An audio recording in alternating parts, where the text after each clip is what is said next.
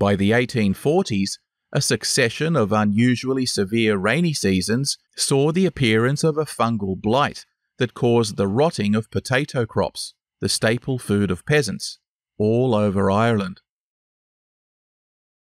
Already living well beneath the poverty line, some estimates have suggested that over a million people perished in the resulting famine, causing another 2 million to emigrate to the United States, to Australia, or anywhere else they could escape to. Though the government strenuously denied it, eyewitness reports abounded of thousands of tons of crops being shipped to English markets every single day by opportunistic estate owners cashing in on a sudden trebling of prices, while the population starved on the docks. Appeals and protests were quelled by troops while influential English newspapers, fully aware of the scale of the disaster, passed off the famine in Ireland either as divine punishment for their own wickedness or otherwise as not our problem. The media typically portrayed the Irish as drunken, unruly, and ape like, in contrast to other Britons, whose noble duty it was to rule and civilize them. Charles Trevelyan head of the UK Treasury and chief of official government relief operations, was reported to have said that the famine is simply a mechanism for reducing surplus population. His very public hatred of the Irish made him an astonishing choice to head Westminster's humanitarian program, which he stalled and delayed on a continuing basis. Even more incredible is that he received a knighthood for his trouble, but in Ireland today he is viewed as a villain second only to Oliver Cromwell.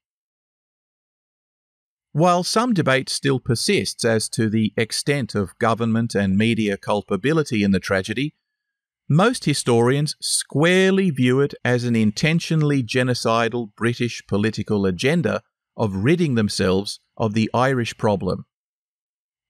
All this at a time the British were priding themselves on their recent abolition of the Atlantic slave trade and their role as enlightened liberators of an evil Napoleonic Europe. One reason for this peculiar disparity is the suggestion by some historians that the ruling class in Britain at the time was heavily influenced by the writings of Thomas Malthus, a political economist and demographer. Malthus observed that as food production improved, the health and well being of people also improved.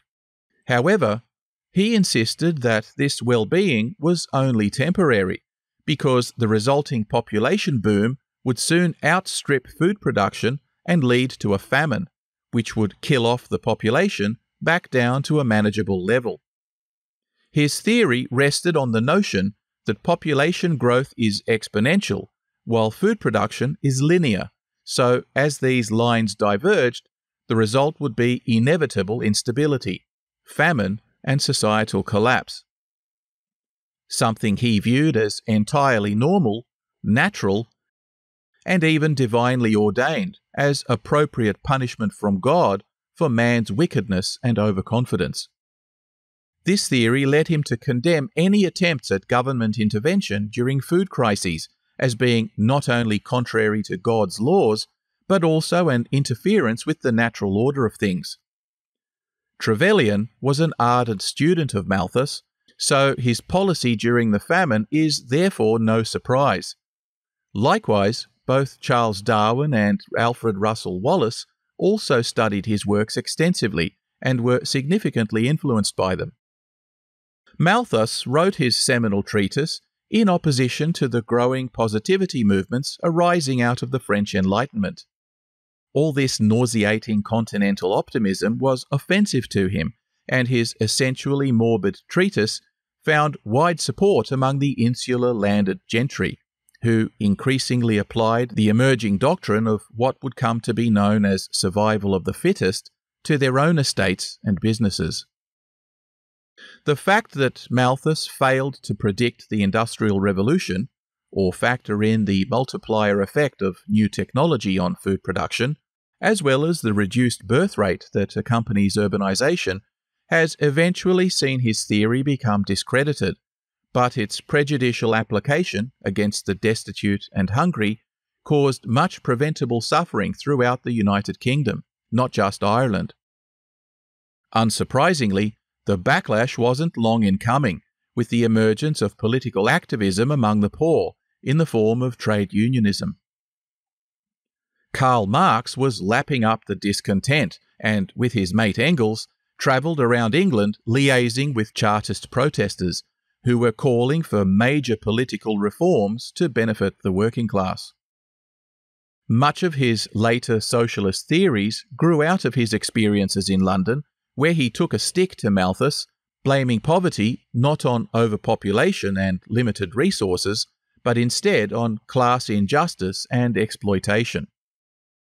Socialism was born, and the English were now copping serious blowback as public opinion shifted sympathies significantly towards the Irish. To highlight the absurdity of the ruling elite's attitudes to the catastrophe unfolding in Ireland, one incident in particular stands out. The Ottoman Sultan, Abdul Mejid I, a firmly pro European, progressive Muslim ally of Queen Victoria, was so moved by reports of the famine that he transferred £10,000 in cash as humanitarian aid.